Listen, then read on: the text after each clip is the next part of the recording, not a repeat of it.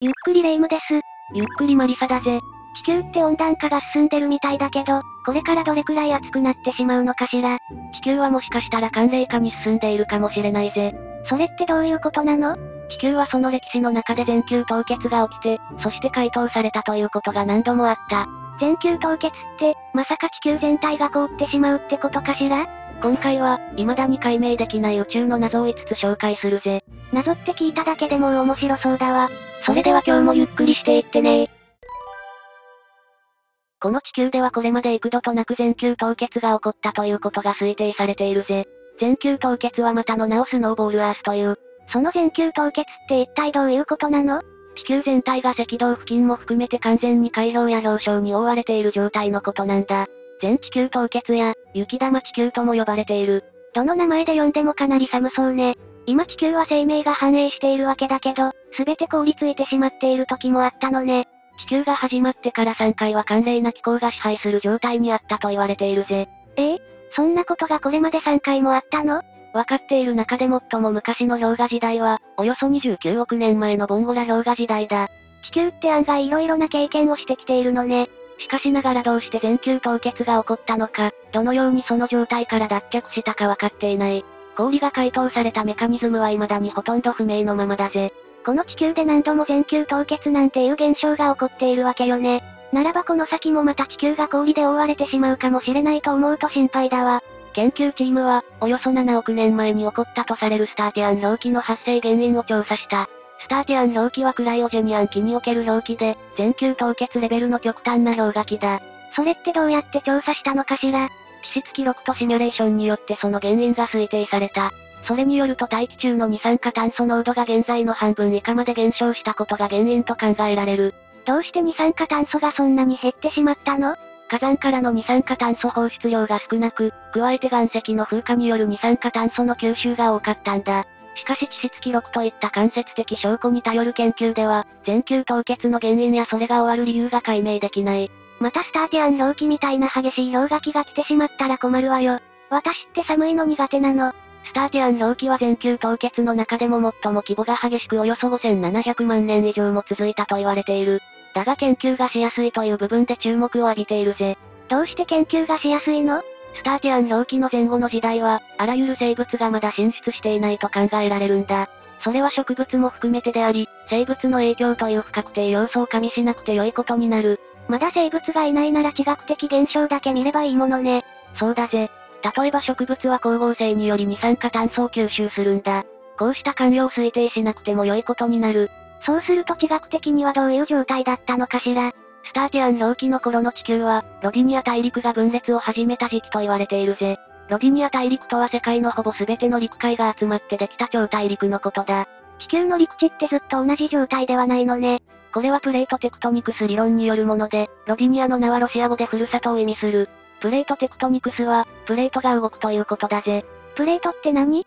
つまり地球の表面は固体の近くで覆われており、それが複数の大きな塊に分かれているんだ。この大きな塊というのがプレートのことだぜ。それが動いているということかしら？プレートは地球のマントルと呼ばれる層の上で数センチメートルや数十センチメートル程度で移動しているという。スターティアン氷期は、プレートテクトニクスと地球表面の構造が大きく変化した時期と言える。それが氷河期とどう関係するの？ここで、シミュレーションによってスターティアン氷期の原因が推定された。プレートを生み出す中央海嶺の火山活動の低下と大陸で起こった岩石の風化作用の組み合わせだ。そのことが原因だったってことかしら？それらが原因となって大気中の二酸化炭素濃度が低下したと考えられる。中央海嶺の活動状況はシミュレーションによるその原因として新たな発見となったぜ。複数要素が合わさって大きな原因となるのね。岩石の風化作用については以前から原因として考えられていた。ステーティアン氷期の直前に起こったとされる大規模な火山活動はすでに注目を浴びていたんだ。火山活動も二酸化炭素を低下させる要因なのね。火山活動後の風化作用は二酸化炭素を吸収する化学反応を起こす。しかしこれだけでは、スターティアン氷期が引き起こされる原因となり得ないと考えられていた。中央海嶺がどうしてプレートに関係するの？中央海嶺はマントルから吹き上がってきた物質が新たなプレートになるような場所なんだ。これは二酸化炭素の放出を伴うものだぜ。だったら二酸化炭素が減少する原因にならないわよね。この当時はロディニア大陸の分裂も起こっていた。それによってプレートの配列に変化が生じて、プレート運動が減速していたと考えられる。そこで大陸移動が関連してくるわけね。大陸移動で中央海嶺の活動が低下する結果となったんだ。つまりそれに伴い二酸化炭素の放出量が低下したぜ。そんなに大幅に低下したの？シミュレーションによれば、これらの要因によって大気中の二酸化炭素は半分まで低下した可能性がある。そして温室効果が大きく低下することで、スターティアン氷期が発生したと考えられるんだ。温室効果って何？大気には熱を惑星に封じ込める役割があるぜ。そして気体の中でも温室効果が顕著なものが特に温室効果ガスと呼ばれている。つまり二酸化炭素が温室効果ガスってことかしら？そうだぜ。二酸化炭素の他にも窒素酸化物やメタン、フッ化水素などが温室効果ガスと言われているんだ。温室効果ガスの中で最も有名なのが二酸化炭素だぜ。二酸化炭素の低下が地球に全球凍結を引き起こしてしまうくらいだものね。スターティアン氷期はしかも5700万年ほどの非常に長期にわたるものとなっていた。それについても火山活動の低下や風化作用が長期間続いたとすれば説明がつくんだ。それらの原因が終わった時にスターティアン氷期も終わったのかしら。終了の原因は、風化が進行し岩石が二酸化炭素をそれ以上吸収できなくなったことが考えられるぜ。また、中央海嶺の活動も活発化して大気中の二酸化炭素が上昇した可能性がある。長い時間をかけて地球環境が変化したということね。だが終了の原因については、不透明な部分がありまだ研究が不足していると言われているんだ。まさか今後また地球で激しい全球凍結が起こる可能性はあるの？実はその可能性は完全に否定できない状況だぜ。なぜなら地球の大陸は今後また一つに集合すると言われている。え？えそれっていつのことかしら ?2 億5千万年後と考えられているから、今から心配する必要はそれほどないんだ。超大陸パンゲアウルテマ大陸が形成される頃、全球凍結が起こるとも考えられているぜ。どうしてそうなるのよ？大陸同士が衝突すればプレート運動が低下する。すると中央海嶺の活動が低下して二酸化炭素量が低下するからだ。地球の生命って、仕方ないのかもしれないけど地球環境に核も翻弄されるものなのね。ほとんどの銀河の中心には太陽質量が100倍以上ある超大質量ブラックホールが存在すると言われている。もちろん私たちの天の川銀河を含めてだぜ。天の川銀河の中心にはどんなブラックホールがあるの？太陽質量400万倍といった驚異的な質量を持つ、イテザエースターと呼ばれる天体だ。地球からはおよそ2万7000光年離れたところにある。どうして銀河の中心にはそんなに巨大なブラックホールがあるのかしらね。巨大ブラックホールがどのようにして形成されるかは未だ謎に包まれており、その解明には至っていないぜ。太陽の数百億倍もの重さがあるものもあり、大きな銀河ほど中心ブラックホールが重いとされる。そうなると、銀河と中心の巨大ブラックホールには何か深い関係がありそうに思えるわよね。何らかの形で共に進化してきた可能性はあるんだ。そうなると銀河が先かブラックホールが先かといった疑問が浮かび上がってくるぜ。銀河が先にできてブラックホールが後に誕生したか、あるいはその逆なのかということになるわね。定説では、銀河が形成された後にブラックホールが誕生したと言われている。しかし新たな研究ではその定説に疑問が呈された。銀河が先ではなかったということかしら。ジェームズ・ウェッブ宇宙望遠鏡による観測データとシミュレーションを組み合わせたんだ。ジェームズ・ウェッブ宇宙望遠鏡は、初期宇宙を観測することができるぜ。ジェームズ・ウェッブ宇宙望遠鏡ってすごいのね。驚異的大きさと性能を兼ね備えたもので、ハッブル宇宙望遠鏡の後継機として誕生したんだ。初観測以来、天文学者たちを驚かし続けている。そんなすごい望遠鏡が活躍していたのね。ジェームズ・ウェッブ宇宙望遠鏡は、特に遠方銀河の研究で成果を上げているぜ。最遠方の記録を次々に更新しており、それはつまり宇宙の昔の姿を知ることになるんだ。遠方銀河が昔の銀河ってことなの？つまり10億光年離れたところから光が放たれれば、地球には10億光年の年月がかかるということになる。だから地球で観測できるのは、10億年前の天体ということだぜ。望遠鏡ってある意味時間を遡るタイムマシーンみたいなものね。初期宇宙の観測データとシミュレーションを組み合わせた結果新たなことが分かった。それは、銀河とブラックホールはほぼ同時に誕生したということだ。銀河が先ではなかったというのは間違っていたのかしら。そして、ブラックホールが銀河の星形成を加速したと発表されたぜ。どうしてこれまで銀河が先でブラックホールが後だというのが定説とされていたの？銀河が先だとすると、銀河内で誕生した巨大な恒星の重力崩壊によりブラックホールができたと考えられる。つまり巨大ブラックホールは、初期宇宙のみで形成されるような巨大な恒星が起源ということになるぜ。巨大な恒星がどうしてブラックホールになるの？巨大恒星はすぐ超新星爆発によりブラックホールが誕生した。それは周囲の物質を引き寄せて、巨大なブラックホールができたという説だ。もしもブラックホールが先だったら、どういうことになるのかしら？ブラックホールが先なら、強大な重力で周囲の物質が引き寄せられることで銀河が形成されたと考えられる。どちらも考えうるものの、銀河の最初期はガスの塊が重力でより集まった形態であるため銀河が先とされた。ブラックホールは巨大恒星による重力崩壊によってできるものね。まずは銀河に巨大恒星があった可能性が高いわ。ジェームズ・ウェッブ宇宙望遠鏡による観測データでは初期宇宙にある非常に明るい銀河が大量に発見されたぜ。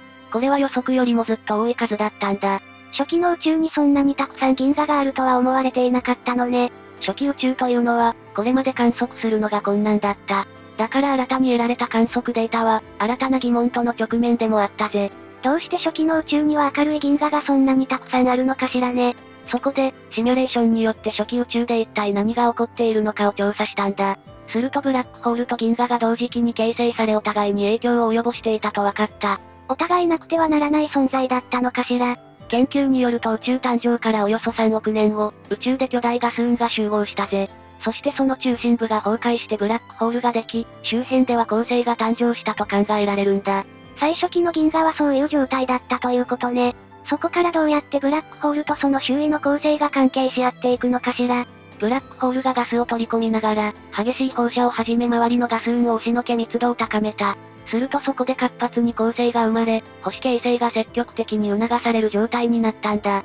ブラックホールと銀河が共に進化しているわね。この状態は宇宙誕生から12億年後まで続いたものと推定されているぜ。しかしだんだんとガスが枯渇していき、恒星の誕生に負の影響が出てきた。どうしてガスが枯渇していってしまったの？ブラックホールによる放射はガスを銀河から離脱させる要因にもなったんだ。ブラックホールの活動が止まらないままでは、ガスの枯渇は免れないということになるぜ。銀河とブラックホールにはやはり、良くも悪くも切っても切れない関係があるのね。ジェームズ・ウェッブ宇宙望遠鏡から得られた観測データにはこうした仮説が合致している。観測された銀河は、宇宙誕生から9億年後のものだ。宇宙の誕生って何年前だったかしら？宇宙の年齢は推定でおよそ138億歳と言われている。つまり宇宙の始まりビッグバンからこれまで138億年経ったということだぜ。だとすればあともう少しで宇宙の始まりが観測できそうだわ。宇宙誕生から12億年まではブラックホールが銀河を活性化させる時代があると分かったんだ。だがこれまでは宇宙のガスがブラックホールにより枯渇する時代しか観測できていなかったってことだぜ。それによって定説も変更せざるを得ないわよね。だが初期宇宙の観測はまだ始まったばかりと言える。さらに多くの観測データを集めることで、より正確な検証が可能になると考えられるんだ。このまま宇宙誕生まで遡って望遠鏡で観測できたらすごいことになりそうよね。ジェームズ・ウェッブ宇宙望遠鏡に期待が高まるけど、どうしてそんなに遠方の銀河まで観測できるのかしら。遠方の天体を探すには赤外線を捉えることが重要だぜ。なぜなら遠方から放たれた光というのは、宇宙膨張によって波長が引き伸ばされると考えられる。光の波長が引き伸ばされるとどうなるの？可視光線だった光は赤外線に変わることになるんだ。ジェームズ・ウェッブ宇宙望遠鏡は、赤外線カメラが搭載されておりこの赤外線を捉えることができるぜ。これまでは赤外線での観測ができなかったの？それまでのハッブル宇宙望遠鏡では、主に可視光での観測が行われていた。だから遠方宇宙の観測に限界があったが、赤外線観測ではその限界を超えることができる。新たな宇宙時代の到来を感じるわよね。ジェームズ・ウェッブ宇宙望遠鏡では135億年前の天体からの光が観測できるとされるぜ。宇宙誕生からたったの3億年後なんだ。なんだかワクワクするわね。宇宙の始まりから間もなく誕生した第一世代の星であるファーストスターを探している。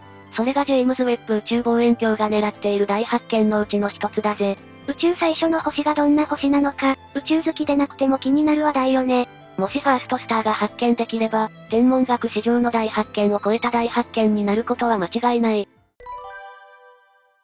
地球の衛星といえば月というのは有名だが、月はどうやって生成されたかは明らかになっていないぜ。ジャイアントインパクトと呼ばれる太古の大衝突で生成されたという説があるがその証拠の発見は難しい。ジャイアントインパクトって何？ジャイアントインパクト説は、月の誕生の仕方として有力とされている学説なんだ。原始地球に火星ほどの大きな微惑星が衝突して原始地球が削られ天体の物質が周囲にばらまかれた。火星ほどの大きさってことは、かなり大きいわよね。つまり地球の半分ほどもあるような微惑星だぜ。その大衝突によって地球の周りにばらまかれた物質は互いの重力で集まって塊になっていったんだ。まさかその塊が月だということかしら？1年ほどの時間をかけてだんだんと塊が一つにまとまった。それが月の誕生だと考えられているぜ。確かにそれに関する証拠を見つけるのはそれほど簡単なことではなさそうだわ。新たな研究では、シミュレーションによってジャイアントインパクトを検証したんだ。地球のマントル深部には巨大な LLVP と呼ばれる塊が存在しているが、これが微惑星の残骸と考えられた。LLVP ってどんなものなの？1980年代に地球の中心核とマントルの境目あたりの下部マントル深部に巨大な塊があると分かったぜ。これがいわゆる LLVP と呼ばれるものだ。どうしてそんなことが分かったの？地震波トモグラフィーと呼ばれる、地震波を使った手法で調べられた。さすがに地球深部まで掘って確かめるのはできないぜ。どれくらい大きな塊だったの？面積は大陸に匹敵するほど巨大なもので、厚さは最大で 1000km にもなると考えられる。これは地球全体の6%にもなるほどの大きさだ。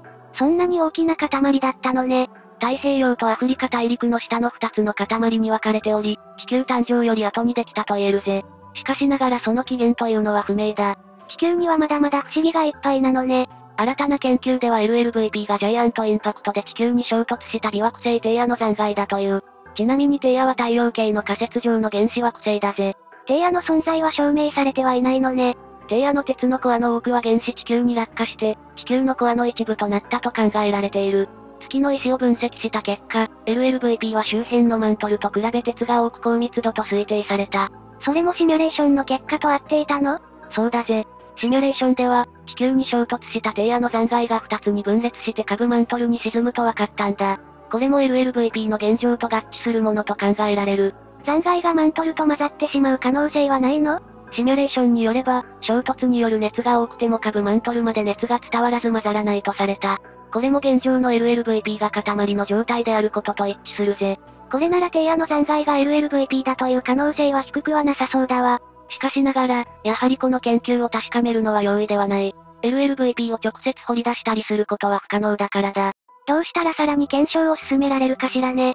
LLVP が低野の残骸なら、太古から地球に存在したはずだぜ。マントル循環はプレートテクトニクスの原動力となっているが、これに影響を与えたかもしれない。つまり LLVP が大陸形成に影響したとも考えられるわけね。プレートテクトニクスと LLVP に関するシミュレーションは新たな発見がある可能性がある。これによって LLVP と低野の残骸との関係が妥当であるかがまた明らかになってくるはずだぜ。月と地球の関係って気になるものね。ブラックホールはこの宇宙で最も速い光でさえ脱出できないほど強い重力を持っている天体だ。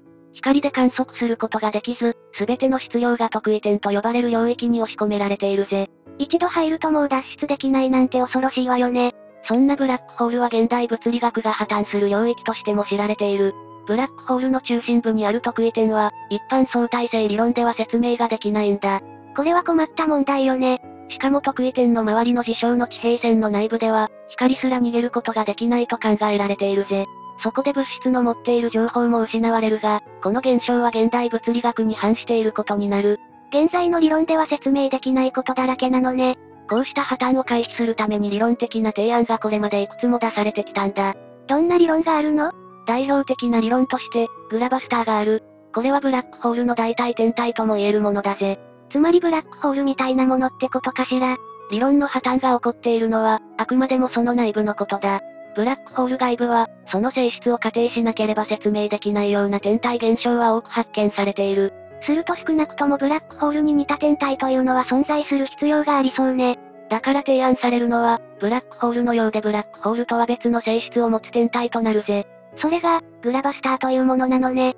これは重力真空星という言葉を合成した名前だ。グラビテーショナルバキュームスターから来ているものだぜ。グラバスターという天体もやはりブラックホールに似たものなのかしら。外見的特徴はブラックホールと似ている。表面は黒い穴のように真っ黒であり、周りは強大な重力があるものだ。ブラックホールでしか説明できない現象もグラバスターであれば問題なく説明できるのね。異なるのはブラックホールの内部の様子だぜ。グラバスターの中心には暗黒エネルギーが詰まっている。暗黒エネルギーって何？重力とは反対の性質を持ち、得意点が生じることを防いでいるんだ。暗黒エネルギーとは真空のエネルギーということだぜ。そんなエネルギーがあるのね。暗黒エネルギーは重力に逆らい宇宙空間を加速膨張させる未知のエネルギーとして知られている。真空とは何もないわけではなく、粒子と反粒子が常に生まれては消えるを繰り返しているんだ。真空のエネルギーってそういうことなのね。これが量子物理学の考え方だぜ。さらにブラックホールに存在する事象の地平面だが、これについてもグラバスターには存在しない。事象の地平面っていうのは何なの？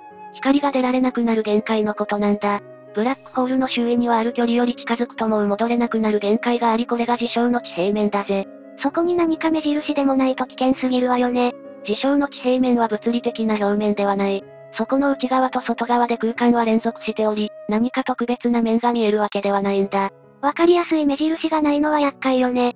対して、グラバスターの表面には非常に薄い物質の層があると言われている。だがその厚さはゼロに近いと考えられるぜ。ブラックホールとグラバスターは、似ているようで結構違うものなのね。そしてアインシュタイン方程式を解くことで、グラバスターに関して新たな発見があった。グラバスターの中に別のグラバスターが入ってもそうした天体は安定して存在できると分かったんだ。グラバスターの中にグラバスターがあるの？しかもいくつでも任意の数だけ存在できると考えられる。いくつものグラバスターが入れ子構造になった天体は、ネスターと呼ばれているぜ。